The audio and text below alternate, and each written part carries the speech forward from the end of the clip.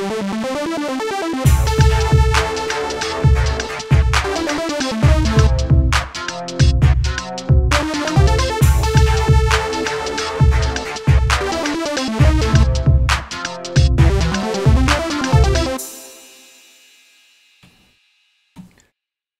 everyone, my name is Andrew Bon Bosher, and today I want to show you how to make some fat kick drums using the convolution algorithm with the RV7000 Mark II reverb in Reason. And so with the um, RV7000 reverb, the Mark II came out with the release of version 8.3 of Reason. Um, so um, make sure you're using that version if you want to use this specific technique and any version onward of course as well but um, yeah this loop you heard it was just something i made real quick and it was uh, the flying battery zone from sonic and knuckles so i just wanted to mess around with that but let's make that kick drum that you heard from scratch so let's go to a new project that i have opened here and in the new project i have nothing um, but a combinator created here so just go in the rack create a combinator very quickly. And I'm going to go through creating the Kong and the redrum real quick, very, very fast. Um, I've done it before in a couple other tutorials, but it's that's not what we're here for. I want to show you more about the convolution algorithm. So um, let's start off by creating a drum module. Let's create a Kong drum designer. Click to show the drum and effects. And uh, to control the sequencing of the Kong here, and when it when it actually triggers, I'm going to use a redrum, but you do not have to. Um, this is completely what I do. It, it, it's completely up to preference. So uh, right click in the combinator real quick and just create a redrum and press tab to flip the rack.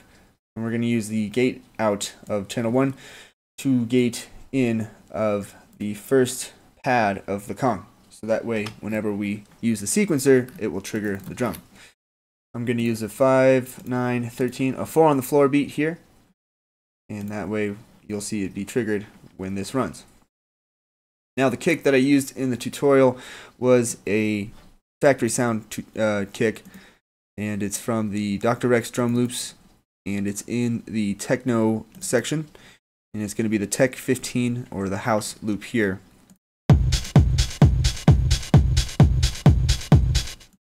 that's the kick I want. So you can just um, click the little addition sign to bring out all the different transients of the loop. And let's use the kick. So we'll just click and drag into the first pad of the Kong here. And of course, you can always just open the drum module into a NNN a nano sampler and browse that way. Either way works. I'm going to set the level to about 100. And I'm going to set the no polyphony. It's just going to be monophonic because it's a kick drum. It needs to stay centered. Um, and then I'm going to use a low pass filter real quick on the FX1. I'm going to set it to about 43. You can always hold shift and click and drag. And I'm going to set the resonance to about zero. And that way it just makes it a little fatter. And now the fun part begins. No, that's still fun, but um, what we're going to do is we're going to right click on the Kong and we're going to create an instance of the RV7000 Mark II Reverb. We're going to click to show the remote programmer and always make sure to right click and initialize the patch or reset. Well, you have to reset the device with this particular version and uh, make sure to do that on both, but don't do it on that one because we already made the, the thing here.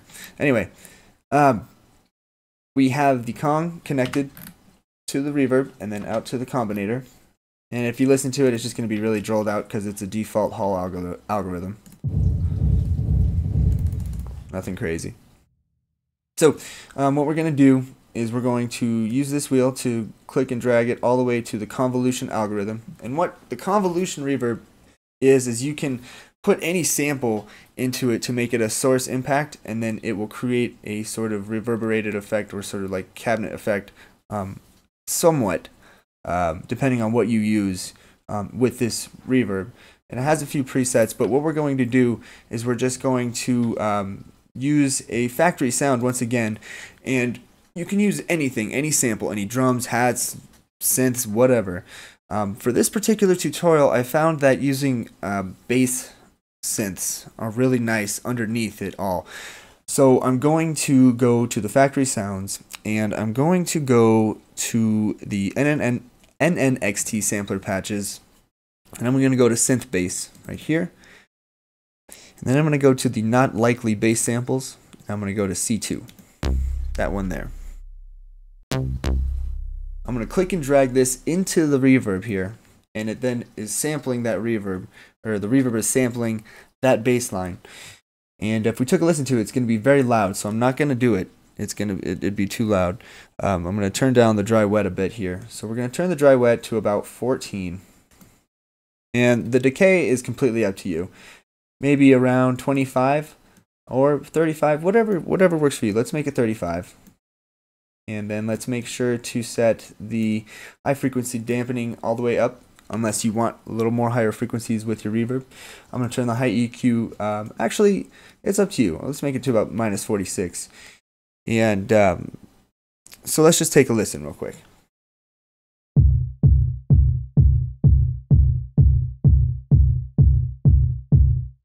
And without. And with it. And then that way, um, these these settings are very tame, and you can always make it bigger.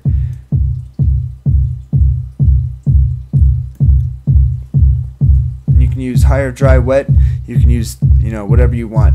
Um, the thing is, is if you want to start adding other layered kick drums and to give it a little more attack or something like that, um, it, be careful and just kind of mess with it. So, if we wanted to add a you know just a high attack kick drum, let's just add a random one from the Kong patches, Kong sounds and samples, bass drums. Let's do, I think the analog one's good. That's a good one. We can make that 100. Monophonic. Do the same type of filtering that we already did. But the thing is, it's going to go through the reverb and it gets really loud. So what I would recommend doing is switching the drum output to 3-4 for this particular drum pad here and the drum output module down here.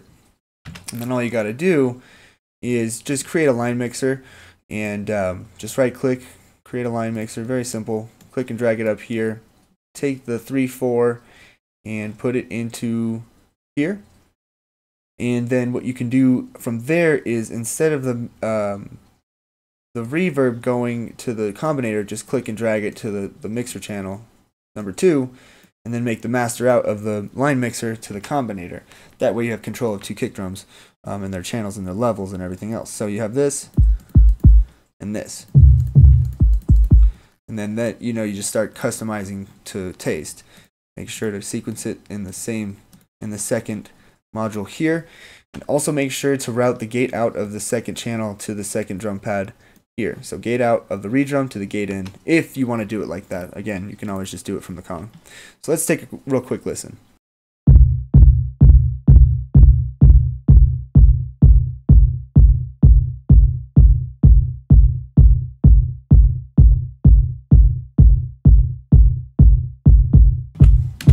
And as you can hear, it's clipping.